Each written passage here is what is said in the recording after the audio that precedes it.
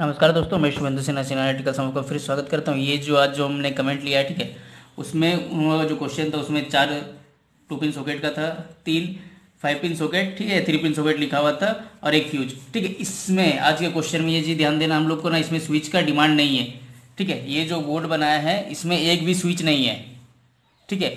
इन्होंने चार फाइव चार टू पिन बोला था, ये चार टू पिन मैंने दे दिया है, ठीक है। ये टू पिन सॉकेट हो गया, एक, दो, तीन, चार। ठीक है? इसके साथ एक फ्यूज बोला था, एक फ्यूज हमने दिया है। और तीन फाइव पिन सॉकेट दिया था, ये हमने तीन फाइव पिन सॉकेट दे दिया है। ठीक है? पर इसमें एक भी स्विच नहीं है हमारा। ठीक है? ये जितना भी सॉकेट है टू पिन रहे, चाहे फाइव पिन रहे, ये सब डायरेक्ट रहेगा। ठीक है? इसका कनेक्शन जो होगा, वो डायरेक्ट में रहेगा। इसके लिए हम कोई स्विच से कंट्रोल नहीं करेंगे। हम जो भी कुछ प्लग डालेंगे, वो ऑलरेडी चलने लगेगा। ठीक है? स्टार्ट होगा। तो इस बोर्ड में, जैसे डिमांड है उसके अनुसार मैंने बता दे रहा हूँ कि इसमें स्विच नहीं है। ठीक है?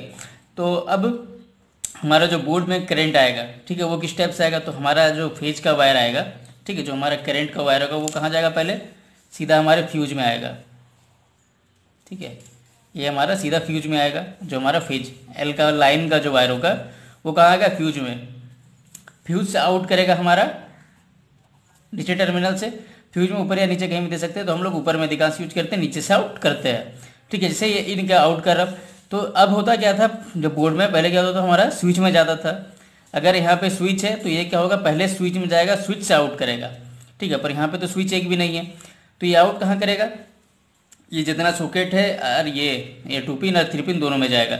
ठीक है तो यहाँ पे देखिएगा, जैसे इस जगह पे, ये जो हमारा फाइव पिन रहेगा, यहाँ पे एन एल इस तरीके से लिखा हुआ होता है। ठीक है बट इसमें नहीं लिखे रहता। हमारा जो टूपिन सॉकेट है, उसमें नहीं लिखे रहेगा। ये हमारा टूपिन है। ठीक है, ये जैसे टूपिन है। तो ये टूपिन सॉकेट में आप देखिएगा, यहाँ पे कहीं पे उस टाइप से नहीं लिखा हुआ है।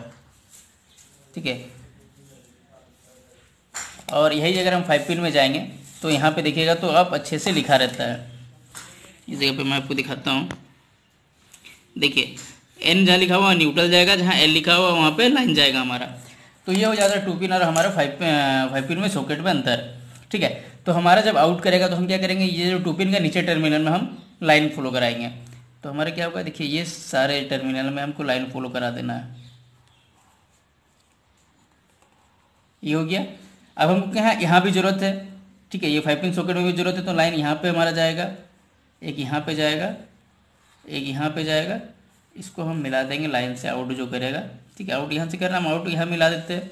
हम यहाँ से भी ला सकते हैं। किसी भी तरीके से जो आपका फ़ेज़ का वायर आएगा, वो कहाँ होगा? अगर ये सॉकेट इस लाइन में ही है तो आपके नीचे ही टर्मिनल में, ठीक है? नीचे या ऊपर एक ही जगह टर्मिनल में आपको सीरीज़ बना देना है।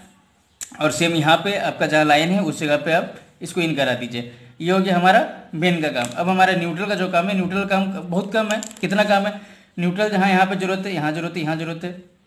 साथ में इन सब सॉकेट में ज़रूरत होगा, क्योंकि हमारा लाइन तो चल गया। अब कोई जो यूज़ करने के लिए हमको न्यूट्रल का ज़रूरत पड़ेगा। तो हम क्या करते हैं, हम न्यूट्रल ले आते हैं। न्यूट्रल हमारे यहाँ जाएगा, एक यहाँ पे आएगा। इन तीन जगह पे आ गया। ठीक है, हम इसको क्या करेंगे, लेके आते हैं यहाँ पे। ये यह हमारा न्यूट्रल आ गया।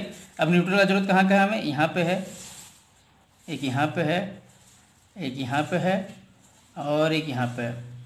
ठीक है, और हमें न्यूट्रल का जो ज़रूरत है वो कहीं नहीं है। हमारा फ्रिज का वायर कहाँ कहाँ गया? सारे एक टर्मिनल में। ठीक है, अगर टू पिन का ये दो टर्मिनल है तो एक टर्मिनल में हमारा लाइन जाएगा, एक टर्मिनल में हमारा न्यूट्रल का वायर जाएगा।